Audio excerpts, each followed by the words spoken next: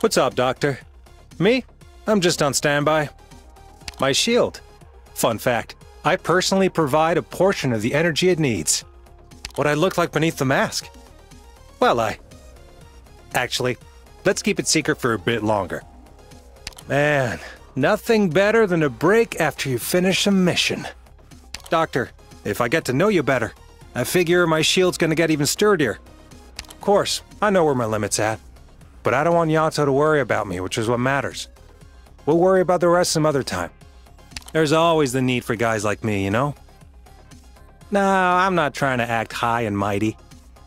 What I'm saying is, when you have a VIP plus a lot of danger, you need a guy to stand between them.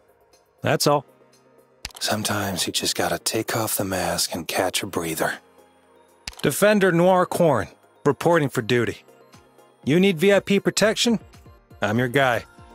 Cool. So this stuff is what Grandpa Rangers was talking about earlier. We bringing friends? I'm gonna get even stronger. Holding the line is a defender's most important job. We're doing it. Come on, say something. What's up? I've got this. Here I come. Watch it, buddy. Reinforced defenses.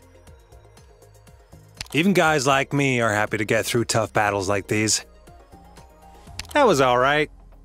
Well, we managed. This wouldn't have happened if I'd worn my good mask. God damn it! Alright, let's take a breather. Yeah? You want to get some drinks after work? Nothing out of the ordinary, Doctor. Arc Arknights.